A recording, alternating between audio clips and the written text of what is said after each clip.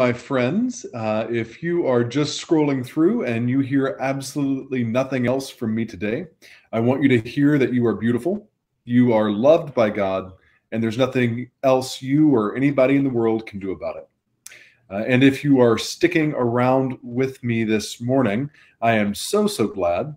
My name is Will Ed Green. I serve as an associate pastor and the director of discipleship at Foundry United Methodist Church in Washington, D.C. Uh, and I'm really excited to start my week off with you today.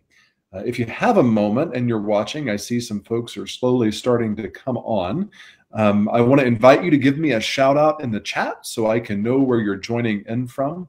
Uh, it helps me to know who you are, um, to celebrate the fact that you've been with me. Uh, and it also gives us all a chance uh, to see just how big and wide this community we're creating together online really is. I see Michael is uh, joining us from Arlington, recently back from a trip. Welcome home, uh, despite the cold and dark. Uh, we're glad you're with us today. Uh, so, if you were with us in worship uh, yesterday at Foundry, I had the chance to preach. It's always a gift to be able to join our community in that way.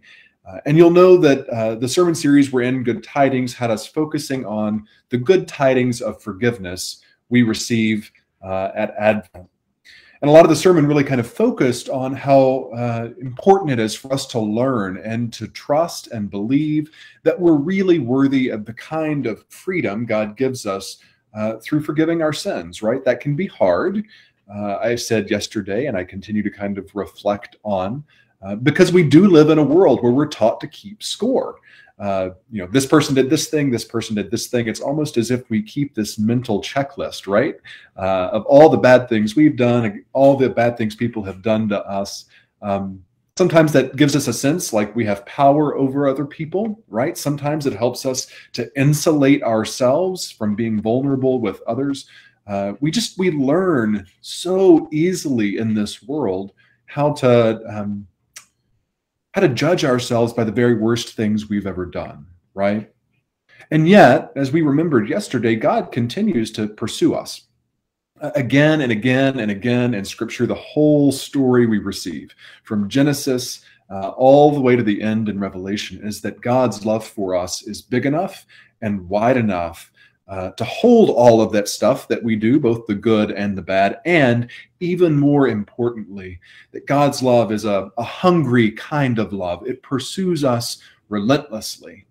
Uh, it follows us wherever we go, long before we ever know it. We call that prevenient grace in the Methodist Church. It meets us in moments where we're uh, re- realizing and recognizing uh, the stuff that we've been carrying around, we need to set down and, and says that's okay too. That's justifying grace.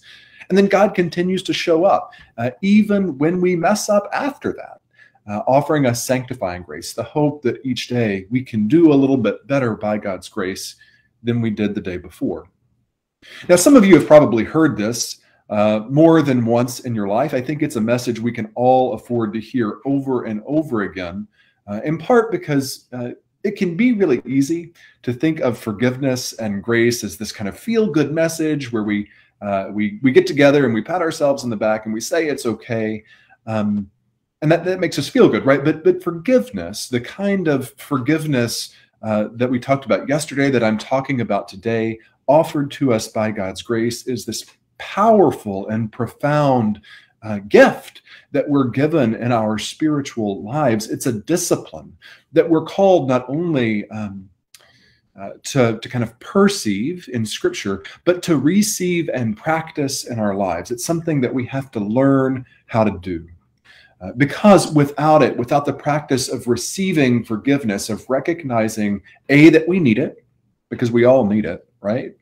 And B, that God offers it freely and without, uh, without uh, threat of judgment or suffering, um, we begin to believe really that we're nothing more than the sum of our sins uh, we're the sum of all the broken things that that uh, we have caused in the world, of all the stuff that's not quite right in our lives, um, and that leads to all kinds of dysfunction, right? I mean, if you've ever been in a relationship with somebody where uh, you're feeling a, a, deep sense of shame or guilt, uh, anybody ever been there and done that, right? Like it it shifts the way that you move around a person, the way you speak to a person, the way you feel around a person.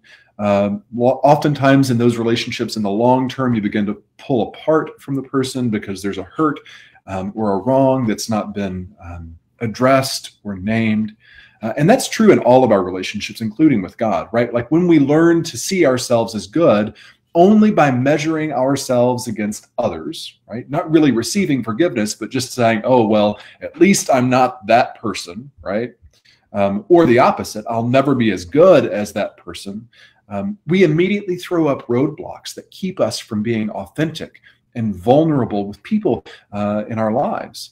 Um, that constant comparison undermines what we what we profess to be true as people of faith right that we are imbued with we are gifted with the image of god that um, that uh, we are we are each uh, valuable right so the more comparing that we do either of ourselves against others or others against ourselves the more we become kind of objects in this game of shame that we play um, and the less we become children of God, right? The less we're able to recognize both the the, the beauty and brokenness that each of us uh, kind of embody in the world.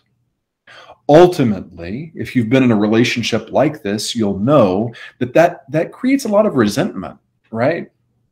And if you've ever recognized uh, a place where you're feeling really resentful, you'll know just how deadly um, that that can be in relationships. And, and to our spiritual well-being as well right? The more resentment we have uh, of people who are uh, forcing us to confront our own guilt and shame um, the the more we begin to uh, pull away to isolate ourselves to withdraw in ways that keep us from doing sometimes the hard work we need to do um, of, of confrontation of something that we've done wrong or confrontation with an idea or a, a thing that we kind of embody that we need to change.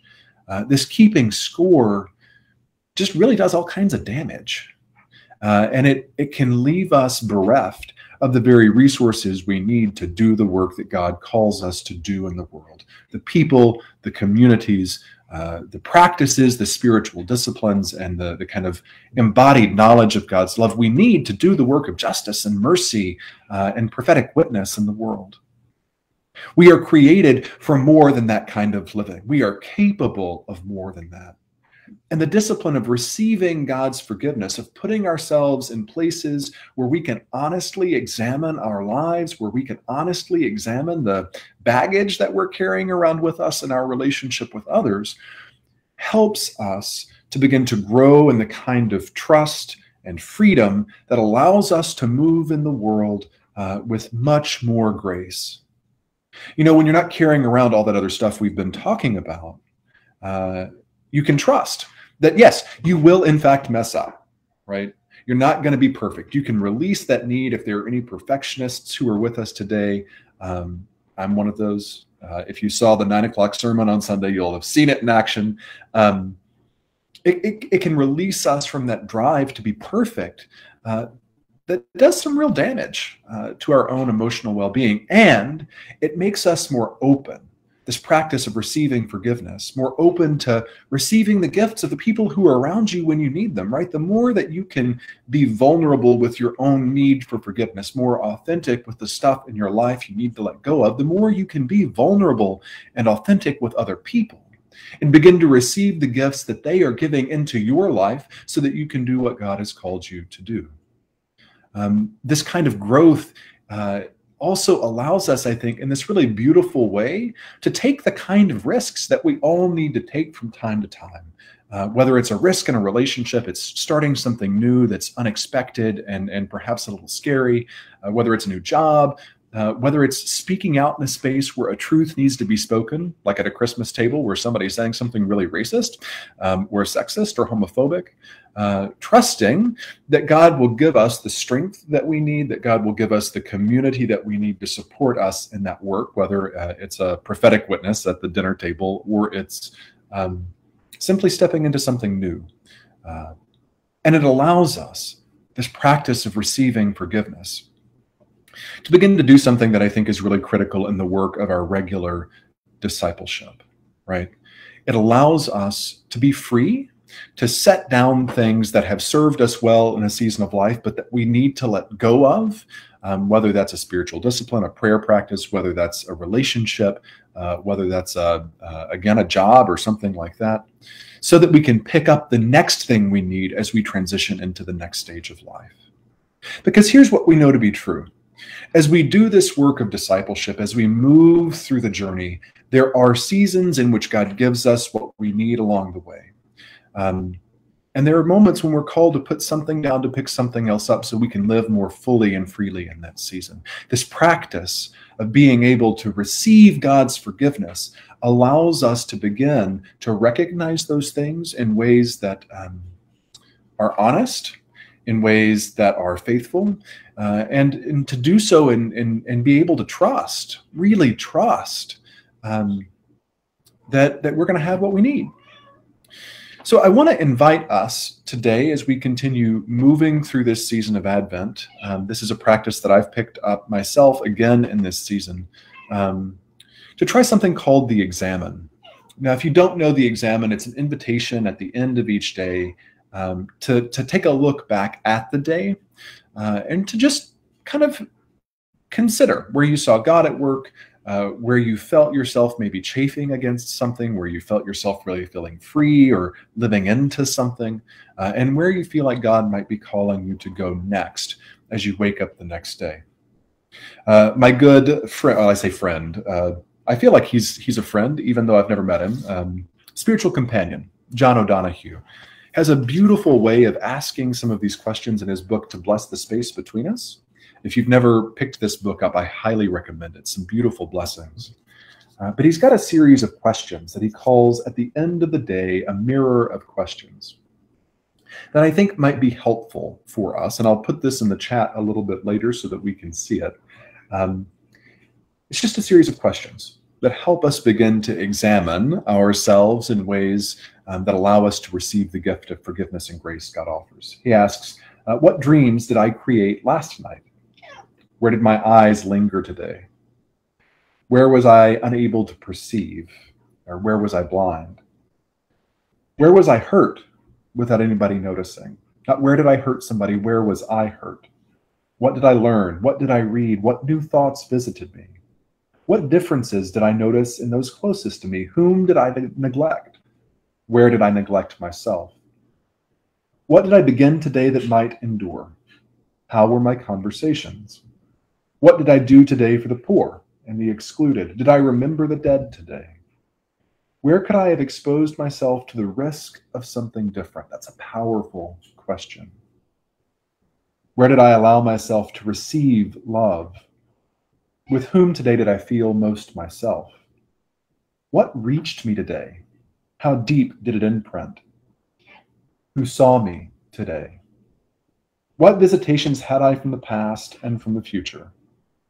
What did I avoid today? And here's the question that gets me every time. From the evidence, why was I given this day?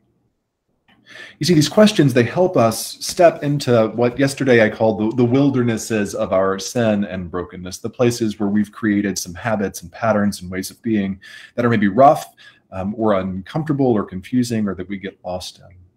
And they then help us uh, begin to just to name them and to trust that in naming them, God is going to give us what we need to move past that uh, in the day that comes ahead. So I want to encourage you to practice the Examen. You can do it in a written fashion. You can sit and uh, and just journal. You can even do it with a partner if you really want to. If you've got a significant other or a friend that you trust, um, or you can even you know just sit and do it in your head if that works for you too. Whatever works. Let me encourage you to pick up that practice um, over the course of the next couple of weeks and just see what it might hold for you, how you might find some freedom in your relationship with God or your relationship with others. So that's what I've got for us today. Uh, that's where my head has been and will probably continue to be for some time. Uh, as uh, we go out, I want to share with you a blessing also from John O'Donohue uh, and just a word or two about stuff that's coming up here at Foundry in this next season. He writes, May all that is unforgiven in you be released. May your fears yield their deepest tranquillities. May all that is unlived in you blossom into a future graced with love. I'll be praying that for you all this week. Um, and I hope that you'll continue to join uh, me on Mondays. You can join Pastor Ginger on Wednesdays at noon for her ponderings from the Purple Parlor. Uh, of course, we're continuing in Advent. We have our Advent special music this Sunday. It's going to be brilliant. Uh, Nine o'clock will be carols. Uh, 11:15 will be a piece by Bach called "Awake Sleeper." Uh, you can join us for both of those uh, online or in person. We have Christmas uh, longest night services for those who might be experiencing some grief or just not feeling the holly jollies um, on December 21st at 7 p.m. Christmas Eve at 8 o'clock, it'll be carols and candlelight. There'll be a children's message and ways for families to participate. Uh, and then, of course, uh, the 26th of December, we'll have one service, a celebration of carols, where we'll spend some time singing together some of our favorite Christmas hymns uh, and learning a little bit more about their history and story. So, lots to engage in in the coming weeks. I hope that you'll continue to plug in. Uh, and as always, uh, trust and know uh, that we love you, that God loves you, and keep on keeping on. Until the next time, take good care.